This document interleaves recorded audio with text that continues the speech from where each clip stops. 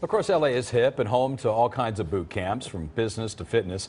Boot camps give people a boost to success. But kindergarten? Yeah. Well, CBS 2's Kristine Lazar shows us the innovative West Side Boost Camp for kids. I want to paint a sign. Anna Reyes just turned four years old, but her mom is already thinking ahead to kindergarten. I'm still shopping around, but I'll definitely put her in a private school.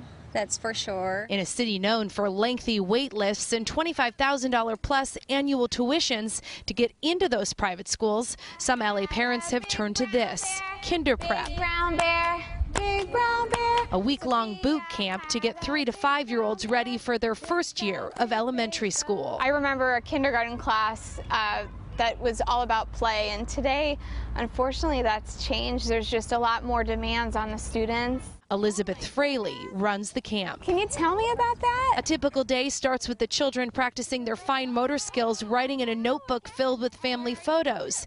Then they move on to circle time, where Fraley reads a book. I hear a boa constrictor. Then it's on to an art project. All of the assistants have master's degrees in education, according to Fraley. Next, it's time for the kids to practice walking in a straight line to the indoor classrooms where they work on math and writing. Now, what would you say to critics who say this is too much? Kids don't this.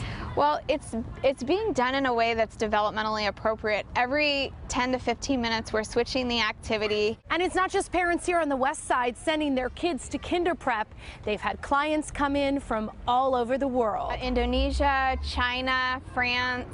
And many of these families are signing up for several weeks at a time, plus additional one on one sessions that cost up to $200 an hour. Reyes says after two weeks of kinder prep, her daughter is more confident. She says she thinks she had a good time too. That's why I don't feel like I'm pressuring my kid because it's like a, a very comfortable setting. In Santa Monica, Kristine Lazar, CBS 2 News.